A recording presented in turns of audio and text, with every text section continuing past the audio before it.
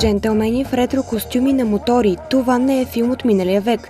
Такава беше визията на градинката пред Народния театър в неделния ден, откъдето пое благотворителен мотопоход в подкрепа на мъжете с рак на простатата.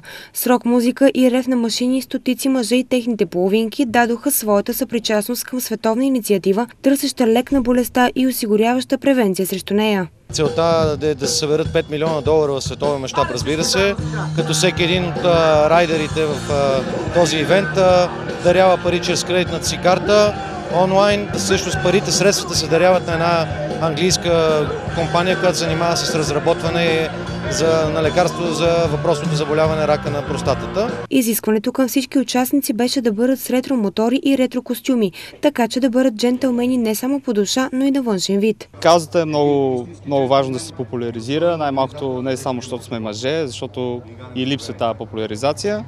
Защото сме джентълмени с мотори. Така даваме по-голяма гласност на събитието, привличаме повече внимание, разпространяваме идеята.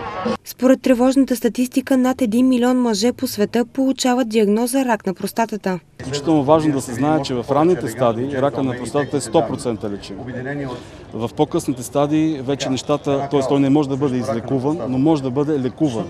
И тъй като това е заболяване на възрастните мъже, при един правилен подход, той може да умре от друго заболяване. Тоест рака на простатата, въпреки че а, така сериозно онкологично заболяване, може да се лекува наистина много адекватно. Със съвременните възможности, които имаме в момента. Болните в момента по последните статистика са, годишно се откриват около 2500-2600 нови случаи. Заболеваемостта в България е между около 47 на 100 хиляди. Световната инициатива възниква в Австралия през 2012 година.